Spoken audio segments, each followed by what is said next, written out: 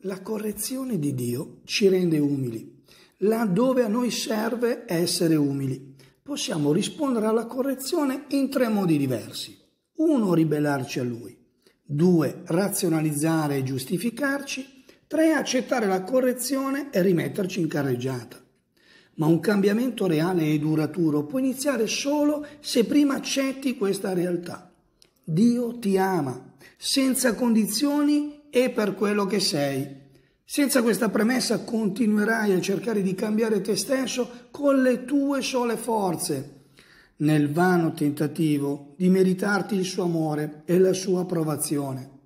In verità, queste cose tu già le hai, solo che non lo sai. Molti pensano che accettare se stessi significhi giustificare tutto ciò che in noi non va. Non è così. Non puoi ricevere la correzione di Dio nel modo giusto finché non raggiungi una chiara consapevolezza di quanto Egli ti ami. Se manca questa consapevolezza, la correzione ti sembrerà un rifiuto e la disapprovazione del tuo comportamento ti sembrerà la disapprovazione di te come persona per crescere spiritualmente. Devi credere che Dio abbia preso un impegno con te, specialmente quando assume un ruolo correttivo e ti guida in direzioni che non comprendi. In questi momenti devi avere una fiducia incrollabile nel suo amore per te.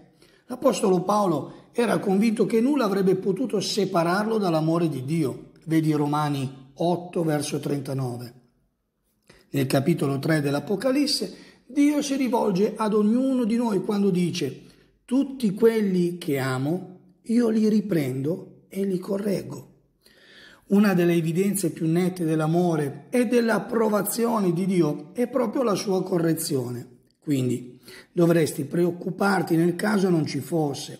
Se stai attraversando un periodo di correzione da parte sua, rincuorati e gioisci. Egli ha in serbo per te qualcosa di bello.